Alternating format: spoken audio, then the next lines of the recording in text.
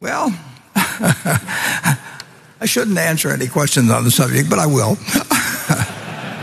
uh, you know, there's, there's all kinds of people watching this that are long Bitcoin, and there's nobody that's short, and nobody, nobody wants their windpipe stepped on. And I don't blame them. I don't like people who step on my windpipe.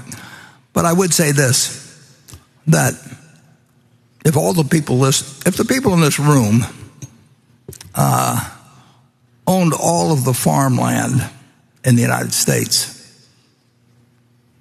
um, and you offered me a 1% interest in it, and you said for a 1% interest in all the farmland in the United States, uh, pay me, uh, pay our group.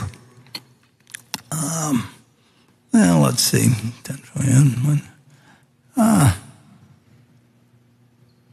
us this bargain price, $25 billion.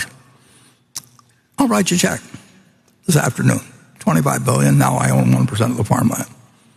If you tell me you own 1% of the apartment houses in the United States, uh, and you offer me uh, a 1% interest, so I'll have a 1% interest in all the apartment houses in the country, and you want whatever it may be for it. And call another 25 billion or something. I'll write you a check. You know, it's very simple.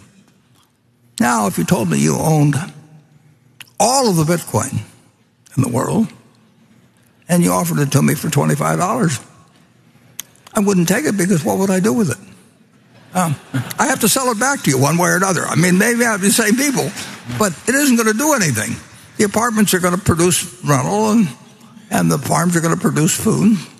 And uh, uh, if I've got all the Bitcoin, you know, I'm back where whatever his name was, who may or may not have existed, was, you know, 15 years ago. Uh, if I've got it all, he could create a mystery about it. But everybody knows what I'm like. I mean, so if I'm trying to get rid of it, you know, people will say, well, uh, you know, why should I buy some Bitcoin from you? I mean, why don't you call it Buffett coin? You know, make your own or something. What? Do something. But uh, I'm not going to give you anything for it. And you'd be right, incidentally.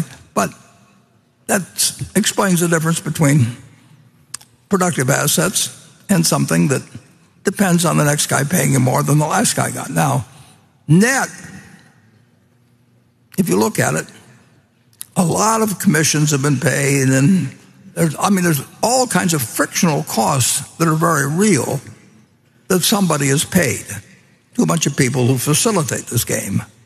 But whatever one group of the public has taken out, or one group of owners, has come in from other people. I mean, it's other people have entered the room and they move money around, but but no money has. There's no more money in the room. It just changed hands with a lot of maybe fraud and costs involved and, you know, a whole bunch of things. You lose, you know, you forget the numbers or get the equation. The, uh, uh, you can do that with a lot of things. I mean, it's been done throughout history. Uh, certain things have value uh, that don't produce something tangible. I mean, you can, you can say a great painting you know, probably will have some value 500 years from now. May not, but the odds are pretty good that if it was a big enough name at some point, there will be a few things. I mean, it, you know, you can uh, you can find something. If somebody wants to sell you a pyramid or something, and you can charge the viewers, or you know, it'll be around a long time and, and won't produce anything. But but but uh, people will find it interesting to go there because I've read about the pyramids. But basically, uh, assets to be to have value, they have to deliver something to somebody, and uh, uh, and there's only one currency that's acceptable in the United States. I mean, you can you can come up with all kinds of things. Uh, we can put up Berkshire coins, or you know, we can put up Berkshire money or anything like that. But uh, we get in trouble, I guess, if we call it money. But uh, in the end, this is money, and and there's no reason in the world why the United States government, whose currency people prefer, I- we, literally there's 2.3, just under 2.3 trillion just of these little pieces of paper floating around some places, 7,000 for every man, woman, and child in the United States. And of course, most of them probably aren't in the United States. Who knows? But this is the only thing that's money.